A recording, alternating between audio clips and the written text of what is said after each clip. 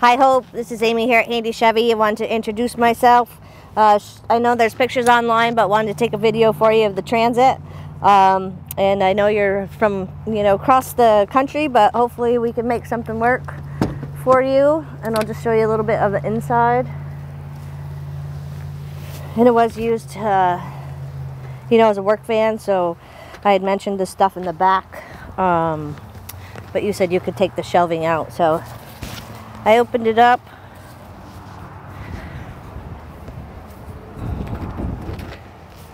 And it is very clean for the year and for what he used it for because he was in construction.